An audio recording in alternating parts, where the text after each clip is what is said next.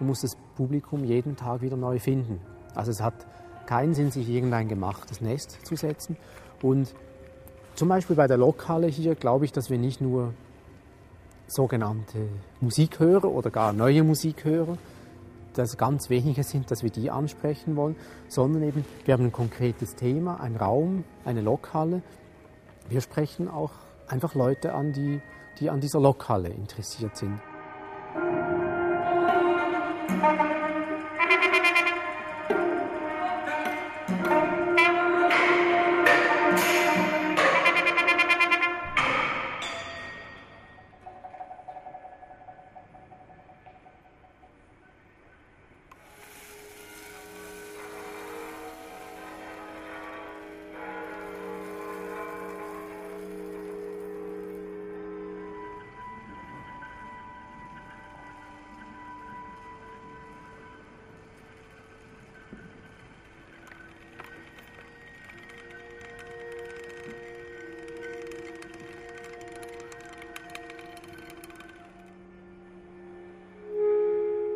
Wenn ich für bestimmte Leute, die eben auch nicht Musikhörer sein müssen, sondern für die Musik machen, für einen bestimmten Ort, dann habe ich einerseits das Gefühl, es wird besser, es ist authentischer.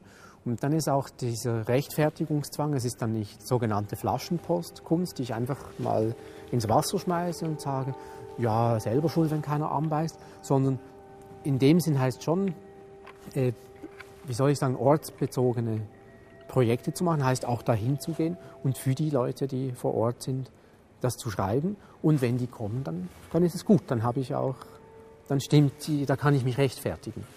Und wenn die nicht kommen, dann habe ich was falsch gemacht.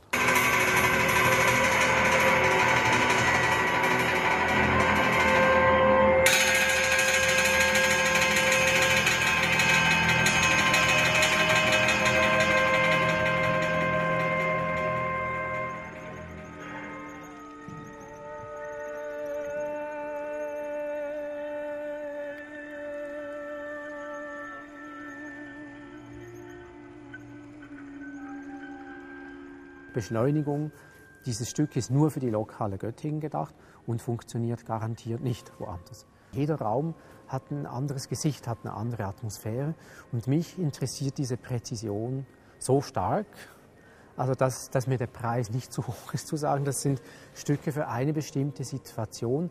Mir geht es da auch ein bisschen um Authentizität, dass ich, mir gefällt das, wenn auch, das klingt jetzt sehr äh, anachronistisch im Zeitalter von, von Internet und allen möglichen Übertragungsmöglichkeiten zu sagen, so, man kann zur rechten Zeit am richtigen Ort sein, dann erfährt man so eine Performance oder so ein Stück und eine Stunde später äh, keine Chance. Dann ist halt, das gibt es nie wieder.